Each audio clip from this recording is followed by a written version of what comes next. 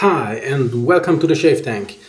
Yesterday we saw the Bruno Banani aftershave because I went to a local drugstore and had a little bit of money to spend and there was a second thing I was buying and this is was Terre d'Hermès or I'm not even going to try to pronounce this correctly but you can read it here I hope aftershave balm I also bought it like the Bruno Banani because of the awesome smell they had in the tester the, the eau de toilette and that smelled absolutely stunning. And I shaved this morning uh, and put this on and guys yes this is very expensive.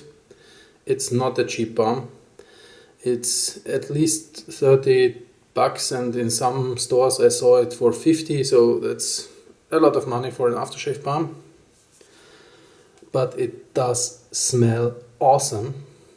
It holds the smell for hours and hours. You will get lots of compliments for that smell. It, it's absolutely stunning. And actually the aftershave qualities are very good. There is I feel a slight amount of alcohol in it but it didn't burn that much.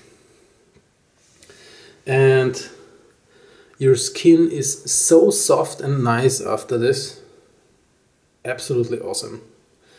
This product is absolutely cool.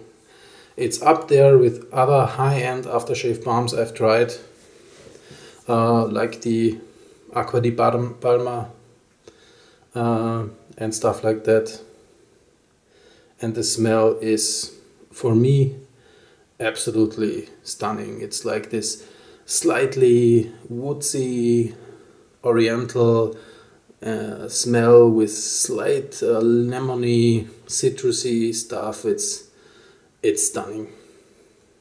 This gets a top rating from me even though it's very expensive and I try to review a lot of cheaper products for new guys on the channel. But if you have money to spend and you want some want to please yourself with something really really cool get this awesome stuff. I love it. That's for me. So yesterday uh, not so good review and today an absolutely stunning product. You can't have a winner every day Okie dokie. See you soon. High five. And I'll be back.